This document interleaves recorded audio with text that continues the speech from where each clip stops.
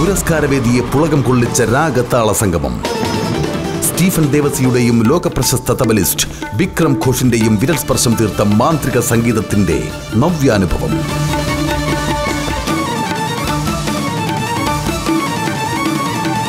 കാണുക twenty first Asianet film awards. നാളെയും മറ്റന്നാളും രാത്രി ഏഴ് മണിക്ക്.